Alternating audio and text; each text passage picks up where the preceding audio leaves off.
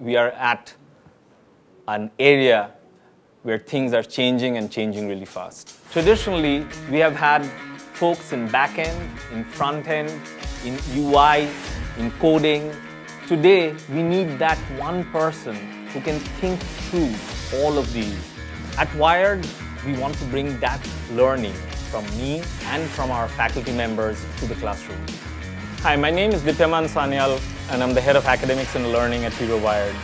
As someone who has extensively worked with artificial intelligence, I'm still bound to believe that the human interaction and the human touch is what makes education possible.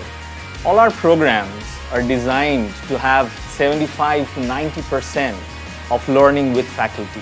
At Hero Vired, the process of learning does not end with the classroom. It begins there.